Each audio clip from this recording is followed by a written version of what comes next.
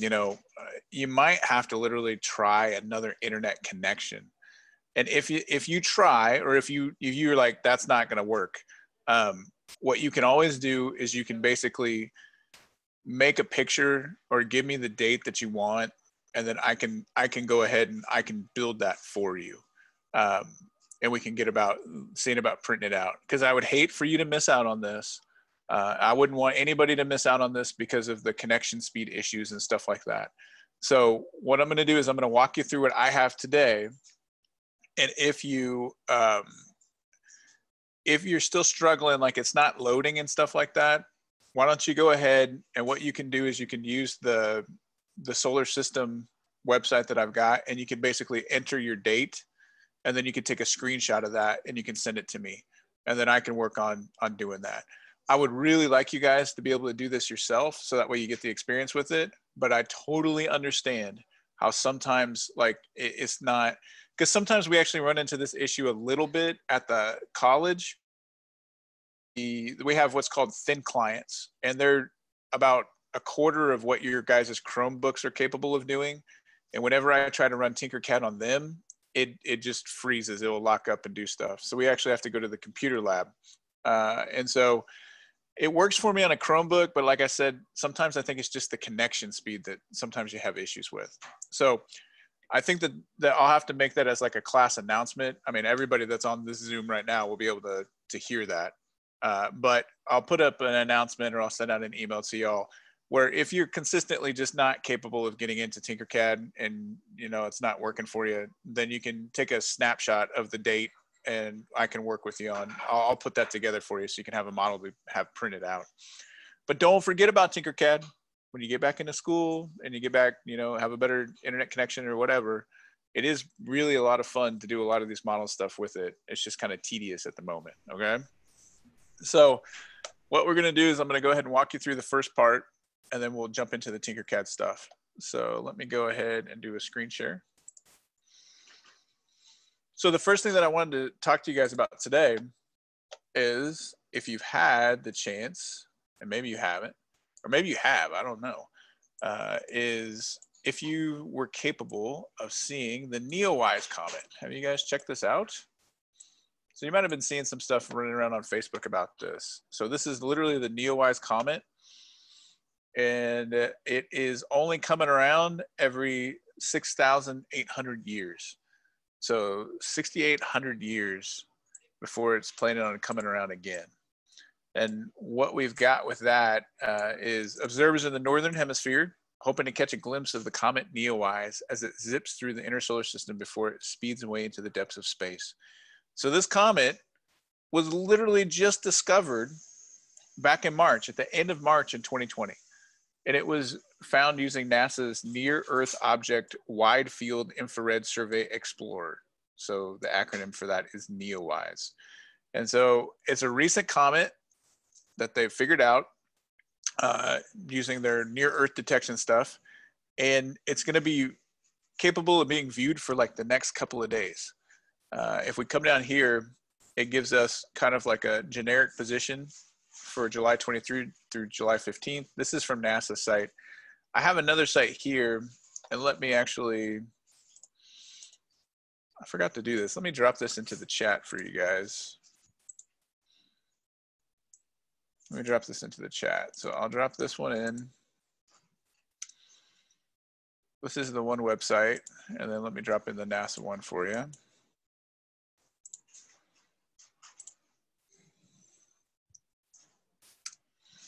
So I put the two links into the chat for you there if you wanted to access these on your own. And so basically, this one gives a little bit more of a description here. Let me get up to the top of this webpage. So this is the Big Dipper. To locate the comet, you're gonna face west, northwest. And it really is pretty much right there at northwest. So think never eat shredded wheat, northeast, southwest. All right. So when you look up for me, that direction is this way. North is literally this way for me right now. And so you're going to have to, you know, figure that out. Most of the roads around here are going to go in a north, south, east, west fashion. So you can pull up your little Google Maps or you can figure it out with like a, you know, they have lots of like, um, they have lots of constellation apps that are out there. A lot of times you can get those for free that are capable of showing you like Google Sky is like a good one. Google Night Sky, where they have basically for Android. Uh, there's also a couple for Apple and stuff like that. But you shouldn't have to pay money for them. But they're capable of basically showing you where constellations are in the sky at any given time. But this one's going to be in the northwest. So face north and then think west, and then northwest is right in between those two. And if you can locate the Big Dipper, which is pretty prominent in the sky, you should be able to pick out the Big Dipper. Or as my daughter said uh, the other day, it looks like Maui's fishhook. She was like, "Look at that! That looks like Maui's fishhook in the sky." And I was like, "I was like, ah, it's like the Big Dipper, right?" So you look at the Big Dipper. This is where it's going to be based on the dates. So today is what the 20 24th. Yep.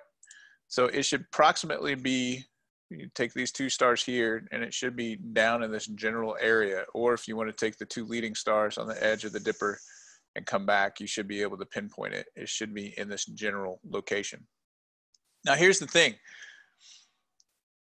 it's in a section of the sky that is also the section of the sky where the sun sets and what that means is is that even if it says that sunset is at like 845 the sky is not going to be dark enough in that area to view this comet. You're going to have to wait. The other day when we went out and saw this, I took my family out and we went and saw it. Uh, we were we were capable of seeing it around 10:30 or 11. Uh, and so I think around 10:30 or 11 o'clock at night is probably when it's going to be dark enough that you're going to be capable of seeing it.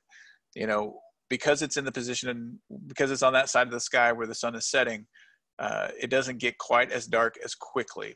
And so around 11 o'clock at night, probably a good time to go out and see it. The thing is too, is that you have to have clear skies. So the last, like I think last night we had clear skies and I don't know necessarily what it's going to be doing this evening, but you know, you're going to be, this is going to be the last couple of days to potentially see this comet before it goes away for 60, almost 7,000 years. And so um, I was also told uh, that you guys received journals as part of your upward bound stuff for the summertime.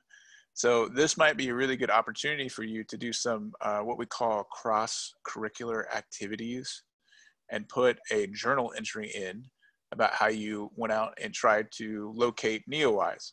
And guess what? Even if you don't find it, you can still write about your experience, right? you can still write about that. Oh, it's super frustrating. I didn't find it after I looked, you know, so that way your great, great, great, great, great grandchildren can check out what you wrote about Neowise when you were in Upward Bound. Or you can be like, I went out and saw it and it was super fantastic. Or you can be like, I went out and saw it and I was like, eh, cool. So, um, but utilize that journal. Utilize that journal, okay? Uh, and go out there and see if you can't find it. Now, the thing is, is that it's really you can see it with your naked eye but it's really good to to bring along a pair of binoculars if you've got something like that um, i busted out my old pair that i got from my uncle when i was like 12 and they still work just fine so what does it look like for various people let's take a look here this is some of the pictures that we've been seeing and let me show you let me show you my, my experience is that it did not look like this um, this is fairly accurate but let me show you here. This is pretty good. It's almost as if somebody dropped an ink droplet and then used a paintbrush to just kind of feather it out. So this is pretty representation uh, of what you'd see. This is a pretty good shot. I don't know how they got that. Probably like a exposure. Uh, let's see here. There's a good one down here. This is pretty similar to what I saw. This picture right here, this is pretty similar to what we saw the other day. Now it was a little bit darker. Like see how you can tell the sun is set, but the light from the sun, right? The earth is not rotated enough that the sun is actually farther and farther down on the horizon, past the horizon. And so this area up here is what I'm talking about, where it gets dark enough that you can actually start making out stars. This area, there's still too much light pollution. You can't, and when I say light pollution, what I mean is you actually have too much light from the sun and then here you know you're not going to be able to see anything so that's what i'm saying is wait until it gets around like 10 o'clock 11 o'clock at night before you go try to check this out And from our experience, it was actually fairly decent in the sky. It was pretty high above the tree line, actually. Uh, and as you can see from their map at the beginning of this, it's only going to get higher uh, as July moves on. So it's going to get higher up in the sky as July moves on. So go outside, look to the northwest, make sure that it's decently dark outside, and you're going to be able to hopefully catch a glimpse of this comet that was only discovered back in March. That's not going to come around for another 7,000 years. So that's kind of cool. Um, definitely get out there and check it out, experience some part of space. I think that we also don't necessarily go outside and actually look at the stars very much uh, because we're busy on our phones doing all kinds of fun stuff in at night. And so, you know, it's really trippy for me to think about like our ancestors that literally just had firelight, right? Firelight, oil lamps, stuff like that, uh, and about how different a world that would be. So, anyway, check out this Neowise comet. Go see it because you're not going to get a chance to do it, you know? So, take the opportunity while you can. So that's the first part of class. I just kind of wanted to talk to you a little about what's happening right now with like space, uh, and you know, it's a comet, so it's not a star, right? So what we're seeing is really just the effects of the of reflected light, if you want to think about it like that. And that trail that's coming off of the comet is basically the material that's busting off of it uh, as it heats up. The closer it gets to certain materials, such as the sun. So we have material being jettisoned from the comet that creates that tail. And as it moves through our solar system, there will actually be a time point where the tail of the comet is actually in front of it as it's moving forward. So it's really about the relative position of that comet to where the sun is, and then how much heating, you know, what it's made of, stuff like that. And so it's new, relatively new. We don't know much about it. So we're going to be checking it out.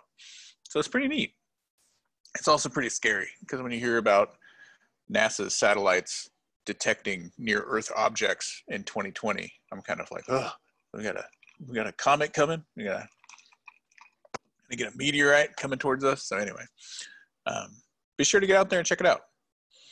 So that's the first part. All right. So for the second part, let me come over here. I'm gonna do new share, and then let me pull up. Okay, so if you go to the Google Classroom, now this is a little bit different, guys. If you saw this earlier today, if you pulled this up earlier today, I just replaced this homework within the last uh, 15 minutes. So I deleted our old homework for week four and I put up this new one. Okay, so if you get the old one, make sure that you reload the page so that you get what I'm seeing here. Okay, and what we're going to be doing is, is I've given you uh, an STL file that you're going to be able to work with in Tinkercad. So let me show you what that's like.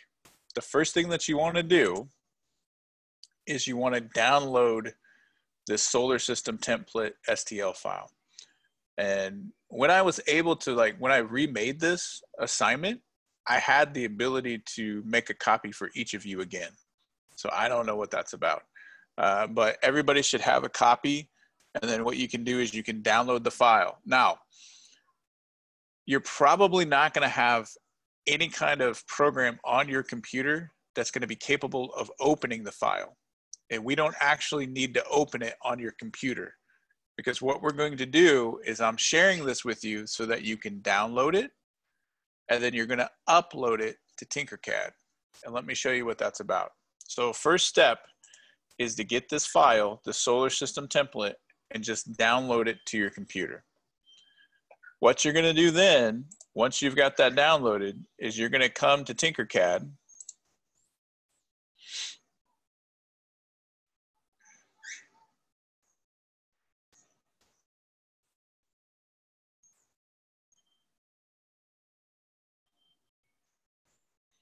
and I'm going to say create a new design.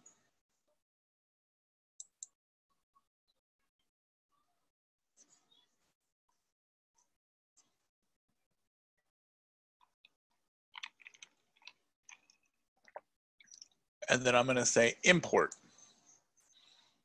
And you're going to choose that template file that one that you just downloaded, you're going to choose import and you're going to choose choose that template file and what it should do is it should load it up on your workspace. And what that should look like, I'm going to back up here a second. What that should look like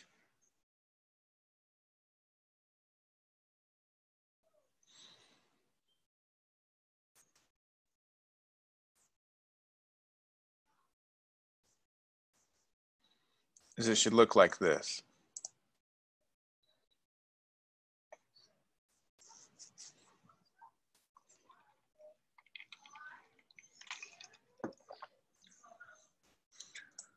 So what you should be seeing is you should have something like this that's being loaded into Tinkercad.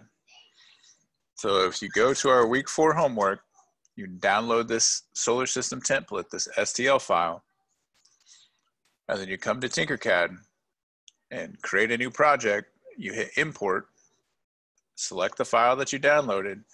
It should give you this. And what's really cool about this is, is that I've already kind of pre-done stuff for you. And I'll give you just a couple of minutes if you're capable of doing it right now. Uh, you can try it out. I'll give you just a couple of minutes to try that. Uh, otherwise, I'm going to go ahead and, and show you, kind of give you a walkthrough of what we're going to be doing, what you can do with this to kind of finish up your model. So I'll give you just a couple of minutes to, to see if you can't download it and upload it yourselves.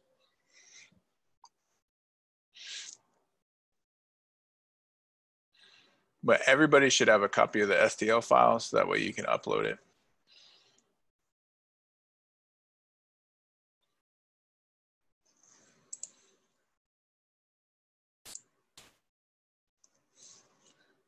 So I was telling you guys about how my daughter said Maui's fishhook and stuff like that. She totally heard me talking to you guys about her saying that, and she was like, "Dad, don't do that. Like, it's totally embarrassing. Like, don't don't tell them that I thought it was Maui's fishhook." And she literally just says, "I can still hear you talking about me." So tell her it made me so happy because I love Moana. Uh, Adrian says it made her so happy that you said that because she loves Moana. She says it's a good movie though. So. Oh yeah, totally is. So I think she's smart. Once I saw it, I was like, man, she is 100% right. Yeah, like how lame was that person's life to look up at the stars and the thing that they came up with was a ladle. Like, like they're like, wow, what is this? The Big Dipper. Because I know wagon wheels and chuck stew and ladles. So I don't know. It's probably got like a really interesting story behind it that I just don't know about. So, but yeah, I like Maui's fish hook more than I like the Big Dipper. For my that's what I will always knowledge. call it from now on. There you go. Okay, so what I think I'm going to do now, guys, is I'm going to kind of walk you through. So if you've got it up, you can kind of watch me and follow through with this. Uh, or if it's it's not working for you, go ahead and watch this video. Uh, watch me manipulate this stuff so you kind of have an idea of what you'd be you'd be looking to do. Okay, so this is what you should have. Now this represents the solar system. We have a space in the middle for the sun, and then all of these rings that are basically embedded into this disk represent uh, the um, oh, I'm drawing a blank here. Why can't I think of this? Represent their orbit around the sun. And so you've got all of the officially recognized planets, okay? And so we've got the sun in the middle. And then what you have here is I want you to take a look at this. Notice how both the text and this rod pass through the actual field that we're working with. See how they go past the zero point? That's because what we're going to do is we're going to use this rod to represent the planets. So if I come back here to the week four homework, I've also included this link for the solar system, basically the website that shows us where the position of the planets are. So what I would do is I would come here and I'm going to select four sixth month, January, February, March, April, May, four, six. No, four, six, yeah. Uh, oh, actually, they did it backwards. I want the sixth day of the fourth month, January, February, March, April. And then I want this back in 2008. So this was the planetary alignment when the Jayhawks won the national championship. And so what I'm doing is I can actually then use this slider to give me the positions of the other planets. And so what I'm going to do first is I'm going to go ahead and work on these. So the inner planets, Mercury, Venus, Earth, and Mars. I can take a look at it. And what I can do is I can come back here. Now this rod is supposed to represent the planets. So I'm going to copy and paste it. So I'm going to, first I'm going to control C, control V, and now I have two rods.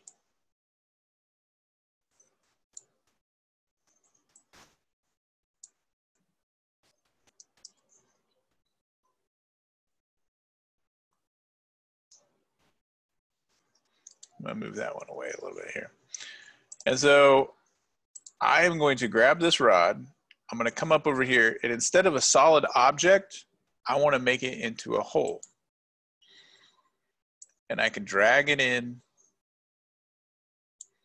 and I can look at my diagram. I'm going to say Mercury is right here. Come back here and I'm going to line it up with that first ring. Looks pretty good to me. I want to do my next planet.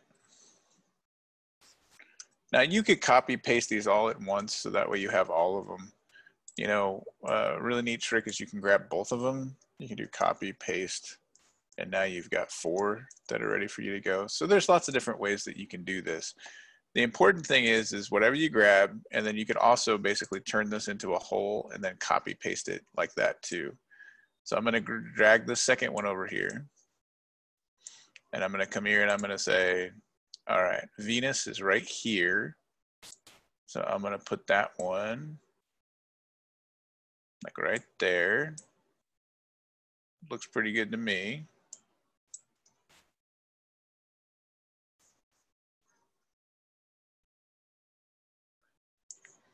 I'm going to grab another one of these, make it into a hole.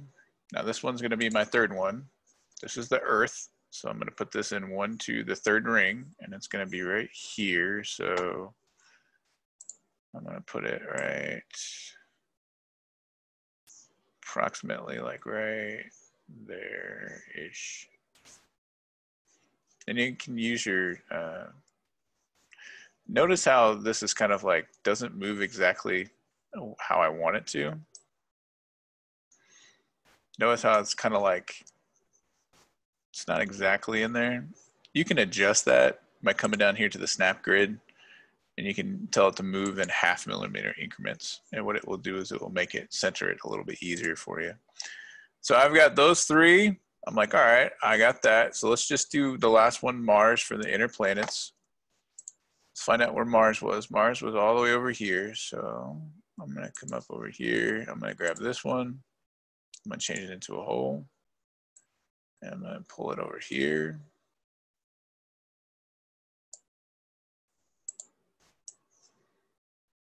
Yeah, it looks pretty close to me.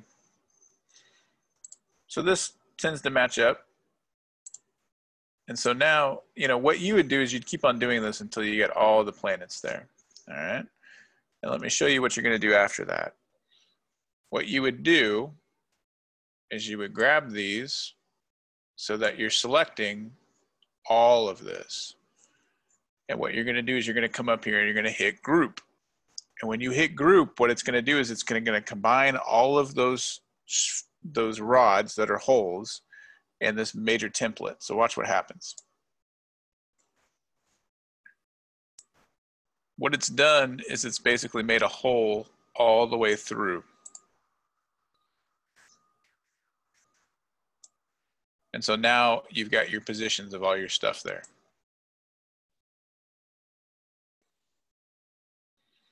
So when this prints out, there should be a hole that's present there that represents where these planets are.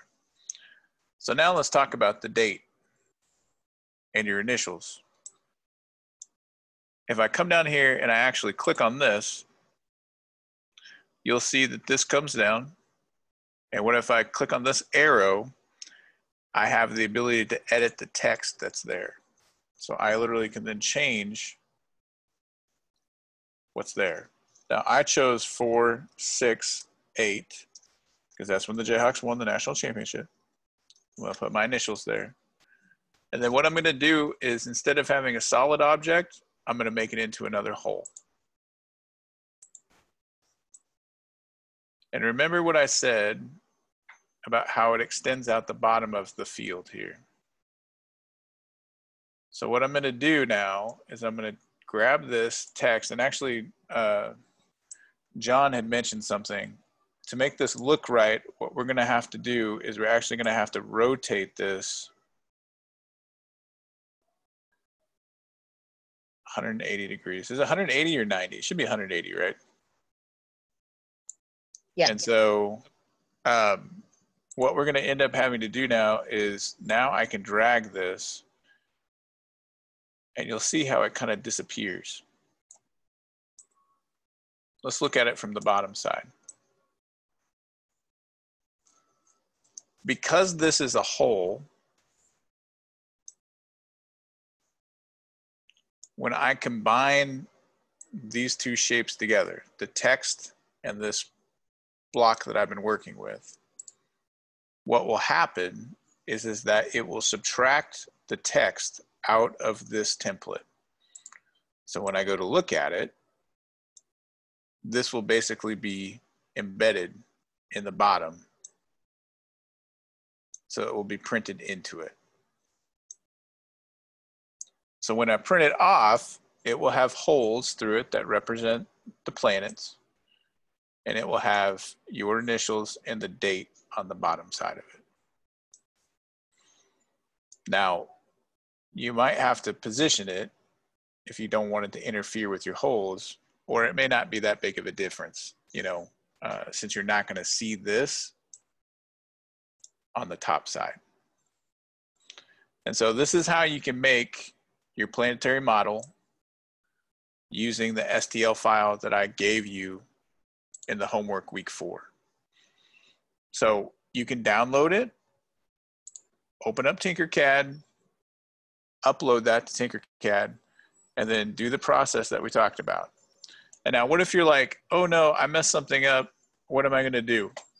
Well, you can always hit the back button, which is basically will undo this. And now notice how I should be able to see it. It might be kind of hard for me to click on it, but I have separated the date text from this. And if I click on this again, you can see that now I've moved it. And if I click on this one more time, now it slips around this way. So don't be afraid to hit the back button. You should be able to go back to the original model if you messed it all up. Um, you know, and like I said, one of the easy ways to, to do stuff is you can literally select this. You can make it a hole. And then you can basically copy paste. And now you've got two of them that are already holes. And I can grab these again I say copy paste. And now I've got those. And then if I do that one more time,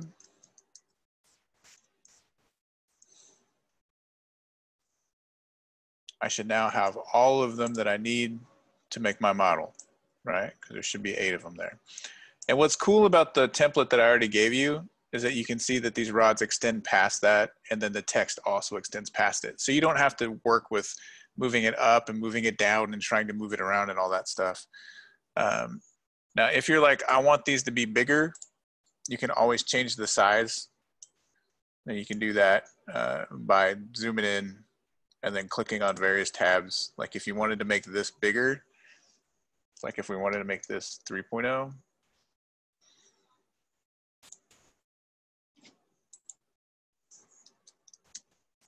that makes it a little bit bigger.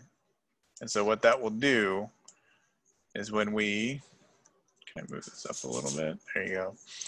That means that when we combine this stuff, let me back out. When we combine this, I'm gonna go up over here to group. That hole is gonna be a little bit bigger. So if you wanted to get, um, if you're like, I don't like these little holes, I wanna make it bigger, you can adjust the size of that yourself. And then if you wanted to get a little crazy and you're like, hey, I want Jupiter to be bigger than the Earth, you can do that as well. So you can adjust the size of the bars. Uh, and so this is really kind of up to you. So download that STL file, log into your Tinkercad, upload it, and then I think this video recording will be made available uh, for you guys to check out. Uh, so you should be able to then look back at this as kind of like a walkthrough guide. So that way you can kind of follow me and you can kind of do what I did to get a model. And then when you're done with this, you know, this will be in here and you won't really have anything like that. So you should have basically your holes and your date and your initials on there.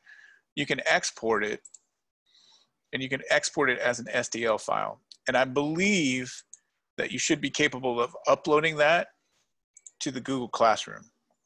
And if you upload it to the classroom, and I think, and maybe I need some help with this, John or Adrian or Beth, um, or Carissa, uh, I think you should be able to upload this as like a file. Can they upload it to the specific homework week four, or do I have to make that an option?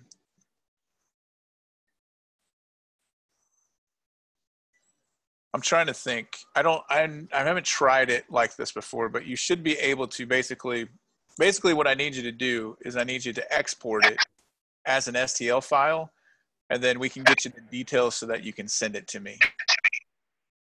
And whether or not that means that you can upload it directly to this, maybe I have to change some of the settings so that you can upload the file if you want or something like that.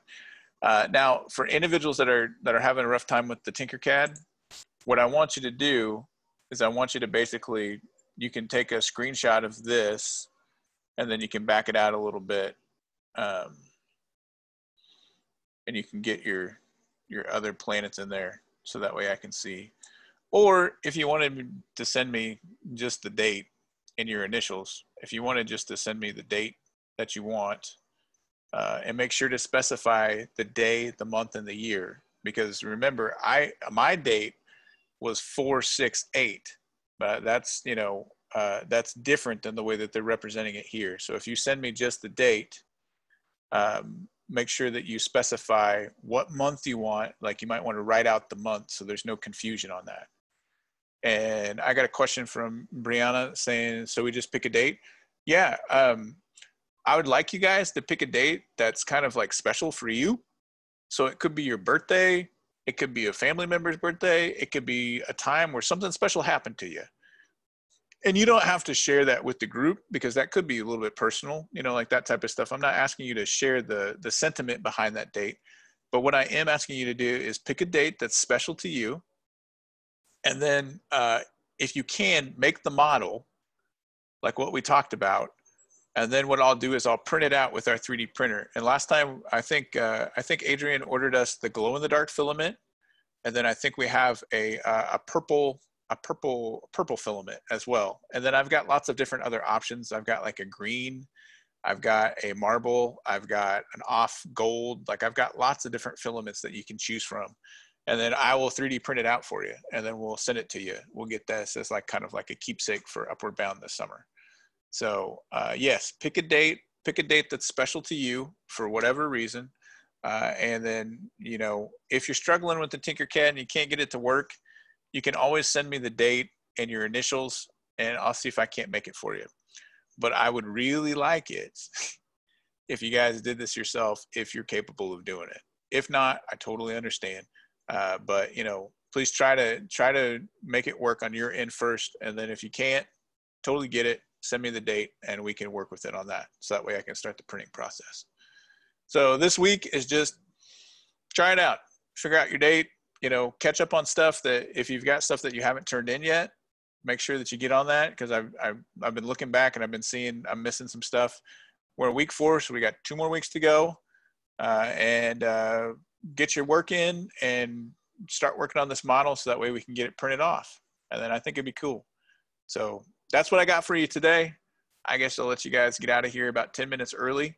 Uh, and so work on the model stuff, uh, check out the date, and then get any kind of back work in that you don't have in. Uh, and then if you're having trouble with Tinkercad, send me the date and I'll see what I can do. But make sure you specify the month. Write out the month. Like I want the month and then the date. And and like I said, you don't have to tell me. Please don't tell me your why it's special to you. Keep that as a secret for yourself. All right. Uh, and uh, yeah, and then we'll get it printed out. Thanks everybody. I hope you guys have a great weekend. I'll talk to you later.